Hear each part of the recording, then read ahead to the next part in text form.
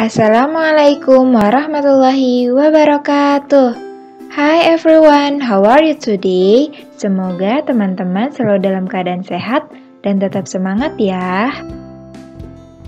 Baik teman-teman, pada video pembelajaran kali ini kita akan belajar mata pelajaran PPKN pada tema 2 dengan materi inti selalu berhemat energi dan peduli terhadap makhluk hidup.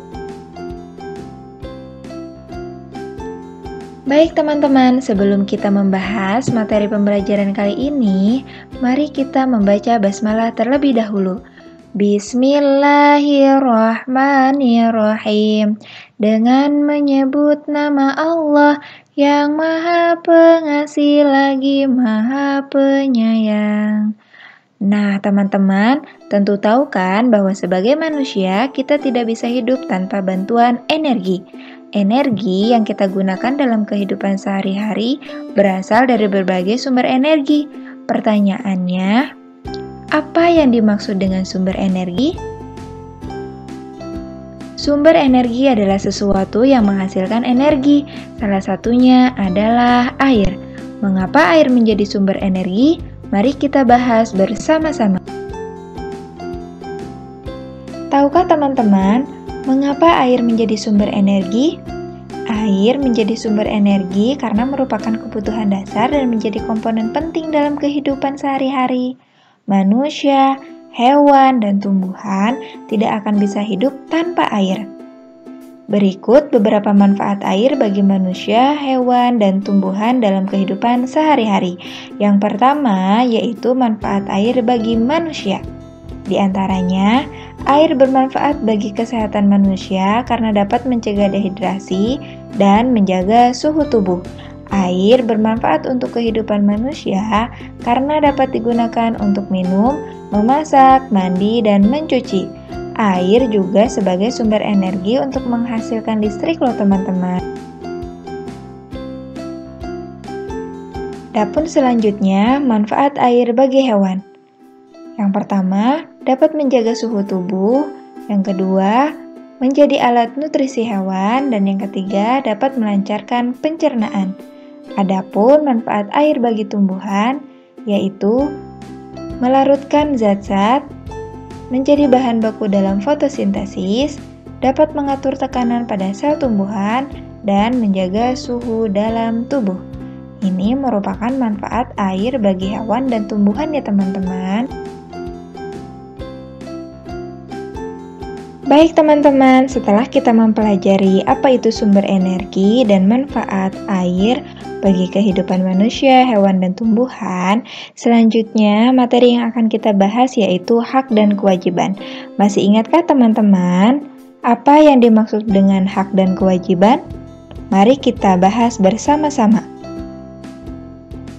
Hak adalah segala sesuatu yang harus didapatkan oleh setiap orang yang telah ada sejak lahir bahkan sebelum lahir. Sedangkan kewajiban adalah sesuatu yang harus dilaksanakan dengan penuh tanggung jawab. Baik teman-teman, setelah kita mengetahui makna hak dan kewajiban, selanjutnya mari kita cari tahu hak dan kewajiban manusia dalam pemanfaatan air. Yang pertama yaitu hak manusia dalam pemanfaatan air. Di antaranya, satu, berhak mendapatkan air bersih. Yang kedua, berhak mendapatkan air untuk mandi, minum, dan mencuci. Dan yang ketiga, berhak menggunakan air untuk memenuhi kebutuhan sehari-hari. Selanjutnya, adapun kewajiban manusia dalam pemanfaatan air di antaranya satu, berkewajiban menggunakan air secukupnya. Dua, tidak mencemari air. Dan yang ketiga, berkewajiban menggunakan air sesuai kebutuhan.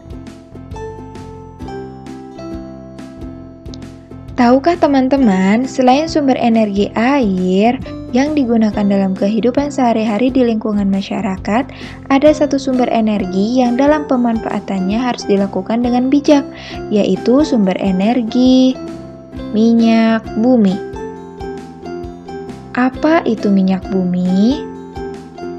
Minyak bumi merupakan salah satu sumber daya alam yang tidak dapat diperbaharui. Dalam prosesnya, minyak bumi diolah sangat lama.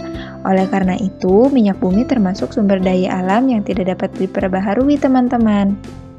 Minyak bumi memiliki peranan penting dalam kehidupan karena dapat diolah menjadi bahan bakar yang berguna dalam kehidupan sehari-hari, seperti gas LPG, bensin, dan solar.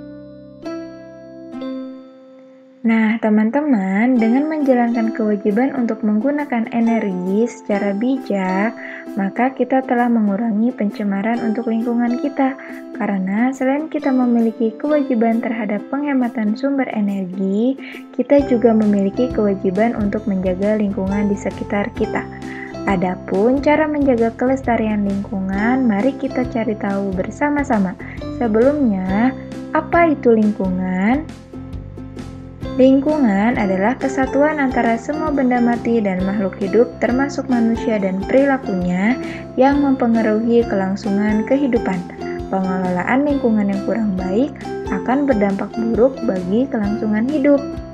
Adapun cara menjaga kelestarian lingkungan di antaranya satu, membersihkan lingkungan dari sampah, dua, melakukan penanaman hutan kembali, tiga, menggunakan energi alternatif.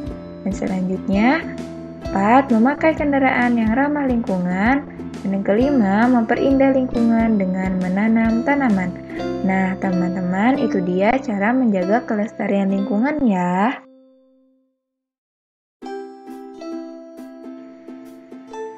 Alhamdulillah teman-teman, demikianlah pembelajaran kita hari ini. Mari kita akhiri dengan membaca hamdalah bersama-sama.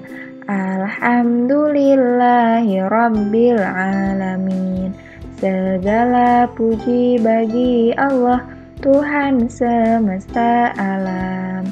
Wassalamualaikum warahmatullahi wabarakatuh. Thank you, see you in the next learning video teman-teman